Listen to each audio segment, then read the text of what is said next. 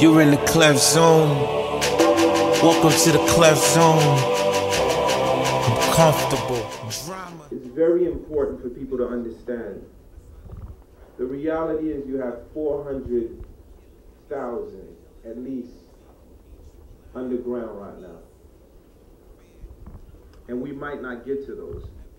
That's just the reality. Quote me when I tell you right now.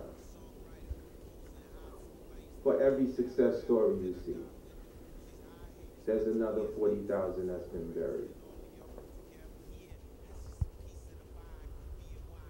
Now, if you don't mind, my people in Haiti are watching this.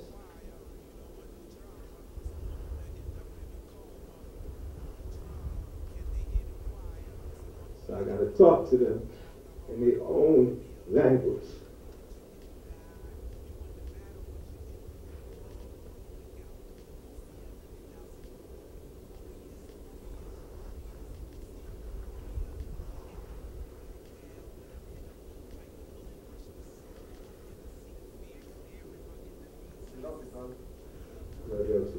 Yo, Sunday.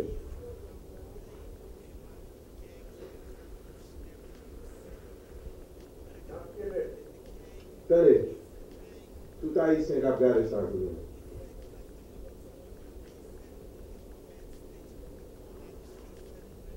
Nou konen son ek to. Lou pa sot nan jem pou men.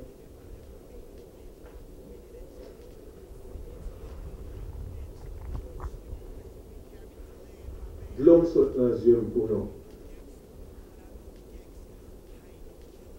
reconnaître qu'il existe. Mais, pas de raison pour la craser, briser, déchouquer.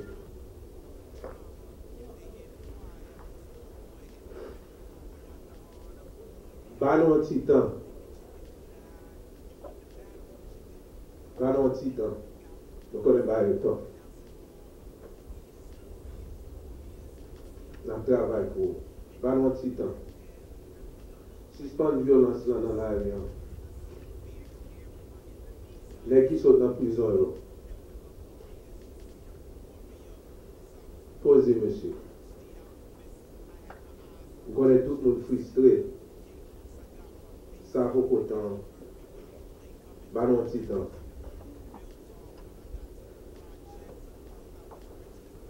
Sou li job Job subi tout sa nan subi la. Balon titan. Violans lan. Balon titan. La vina eti samdi dimanche. Nap chita avek tout baz. Tout moun. Nap organize. Nap mobilize. Ba prezident titan. Balon titan. Ba prezident. Ba premi minister balon titan. In translation, I have asked, the Haitian people on the ground, of course, is going to be suffering, frustrated, violence. I tell them that I do not cry for myself, that I cry for them. And I told them, just permit us a little time. We're going to be back on the ground on Saturday and we'll be back on the ground every week until we help the situation amongst the people to go to every area, every section where these gangs is at, where the community is getting hostile because of the food. And I have to start to form security teams to allow all of this aid that is coming in so that it can get in. We do not have the solution, but we have the start of what I think a solution can be. And I think a solution can be the start of an exodus. In 48 hours, the U.S. Army could probably set up hundred thousand tents. So I think the first solution is we need a massive exodus outside of Port-au-Prince.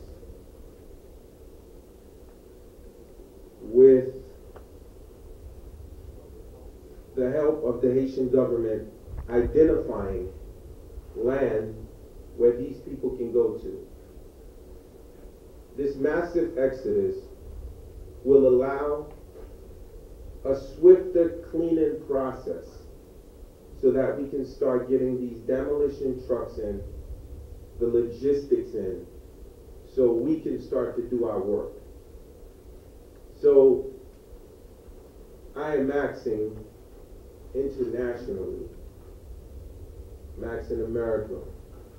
Max in the Middle East. I'm in the world. We need to migrate at least 2 million people in different parts outside of Port-au-Prince. We need to have an exodus. And I give you my word, if I tell them to go, they will go. But they need somewhere to go to. Which means beyond the tent, I want you to think of new communities. That is why we must move them out of Port-au-Prince and identify areas.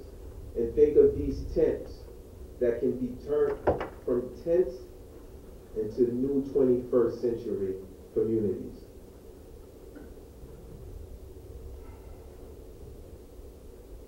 Russell, I hope you didn't Twitter that I, I cried. Did you do that? You quicker than me on your Twitter, man. It's like, um, I want to. back down when I'm hit up. Bite the bullet, brush myself off. Then I see the fear clear in my enemy's eyes. I see the warrior. Now where my warriors?